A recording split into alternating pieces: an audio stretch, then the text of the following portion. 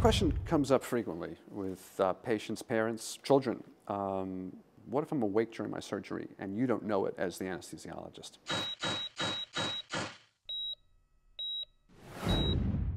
More often than not, awareness happens in extremely sick people who are brought to the operating room in a very fragile state and are given um, smaller concentrations or quantities of drugs because of the potentially toxic effects of these drugs patient undergoes general anesthesia, uh, there are a host of monitors that are in place monitoring vital functions. And the state of awareness uh, is usually uh, one that triggers autonomic responses. Blood pressure goes up, pulse goes up, patients may tear, they may move. There are devices that are used to monitor awareness.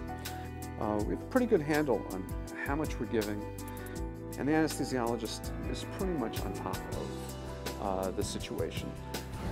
Not that awareness doesn't occur, but it's extraordinarily unusual